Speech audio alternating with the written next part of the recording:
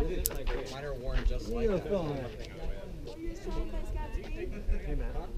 you sign this next week? No, but I can sign mine, so they'll be signed by Nicholas Davis. Um, Does that count? Then go to turn two. I can go to turn two. Go without. Got it. Go without. Then turn, turn nine. Then turn both.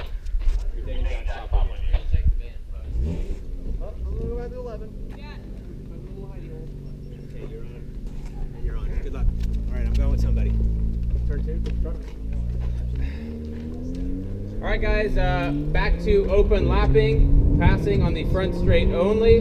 Passing only happens on the left side of the track. The car that is being passed stays on the right side, gives a little point by. The car behind can pull out of line, pass on the left hand side of the track, and then once you get to the bridge, resume on your way. If the pass is not done by the bridge, abandon ship, fall back in line.